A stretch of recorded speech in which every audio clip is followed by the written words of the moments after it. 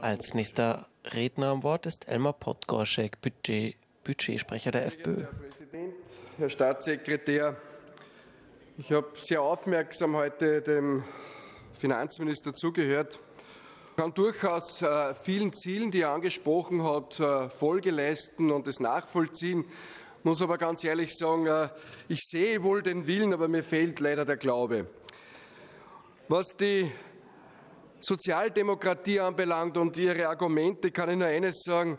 Das Beispiel Frankreich zeigt, ja, mit Klassenkampf äh, ist eine Volkswirtschaft nicht zu sanieren.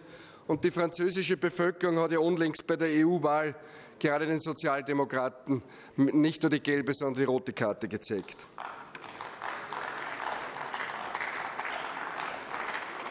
Es ist für uns Politiker, glaube ich, erste Priorität, dass wir danach, dafür sorgen, dass den Menschen mehr Geld in den Taschen bleibt, dass sie mehr Brutto für Netto haben, um erstens einmal den, die Kosten des täglichen Bedarfs decken zu können und auch ein eigenständiges Leben führen zu können und nicht abhängig sind von Transferleistungen. Und ein großer Teil unserer Bevölkerung ist derzeit von Transferleistungen abhängig und das sollten wir dringendst abstellen. Seit Jahren fordern wir umfangreiche Strukturreformen. Wir fordern, dass in den Staatsstrukturen eingegriffen wird, dass man darüber nachdenkt, ja nicht nur nachdenkt, dass man handelt, wo man den Staat schlanker machen kann. Ich habe hier von dieser Position aus etliche Male auf Beispiele im Ausland hingewiesen, aber auf das Beispiel Schweden, Dänemark etc. Aber immer wieder wurden wir mehr oder weniger belächelt und es wurde nur gesagt, das ist nicht möglich. Und da ist Zeit vergangen und nochmals Zeit vergangen und jetzt stehen wir vor dem Dilemma, dass wir jetzt kurzfristig eine Steuerreform wollen, die nahezu nicht finanzierbar ist. Und daher kann ich nur appellieren an alle Regierungsvertreter, so rasch wie nur möglich in die Strukturreform einzutreten. Wir müssen den Staat schlanker machen. Und da hat der Vizekanzler durchaus recht. Ja, der Mittelstand muss wieder mehr Geld in den Taschen haben. Arbeit muss sich wieder lohnen. Ja, dagegen ist nichts einzuwenden. Aber es müssen auch die Ausgaben, die Sozialausgaben müssen auch gesenkt werden. Und wir müssen den Verwaltungsspeck auch in diesen Bereichen radikal reformieren und müssen den dementsprechend abbauen. Es gibt unzählige Vorschläge, haben wir bereits gehört, vom Rechnungshof, Österreich-Konvent, wie lange ist das schon wieder aus? Nichts ist letzten Endes geschehen. Und dann kommt die Mehr von der Gegenfinanzierung von der Sozialdemokratie. Ich möchte endlich einmal ein Konzept sehen. Wo können wir die Vermögensteuer als Gegenmodell zu den Einkommens- und Lohnsteuer mal sehen? Bis jetzt hört man nur, dass es so viele Reiche gäbe, ca. 80.000. Äh, interessant ist nur, dass Ihr seinerzeitiger Finanzminister Latziner bereits 1995 die äh, verbleibenden Vermögensteuern abgeschafft hat, weil die Einbringung derartig kompliziert war und letzten Endes äh, so wenig dabei rausgekommen ist. Auch jetzt kann man davon ausgehen, dass ca. 20 bis 30 Prozent äh, allein an Administration äh, vonnöten ist.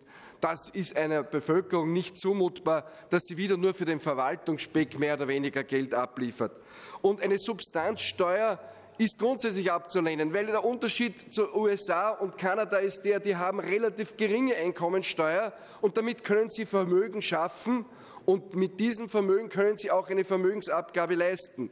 Die österreichischen Vermögenden, sofern es die österreichischen Vermögenden gibt, haben ihr Geld längst so gebunkert, dass da wahrscheinlich nichts zu holen sein wird. Weil entweder es ist in Stiftungen und die Stiftungen wollen sie nicht angreifen oder es ist sonst irgendwo deponiert. Ja, aber wie soll das funktionieren? Das Barvermögen, das Barvermögen ist bereits besteuert durch die KEST. Also, und dann kommt noch zusätzlich die niedrige Zinsbelastung bzw. die niedrigen Zinsen und die Inflation. Wir haben ja derzeit schon eine Vermögensteuer, allein schon in Form der Käst äh, bei, bei den, den Habenzinsen. Äh, bei den Immobilien, ja, die Bauern, die werden sich freuen, wenn sie noch, noch mehr Grundsteuer leisten müssen.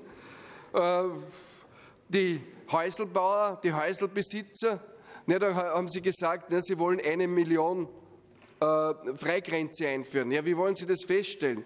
Äh, bei den Mobilien wollen Sie in die Häuser gehen und die, die Bilder aufschreiben, die, die Ketten etc. Ja, aber wo wollen Sie es dann holen? Ich habe noch kein konkretes Konzept bis jetzt gesehen.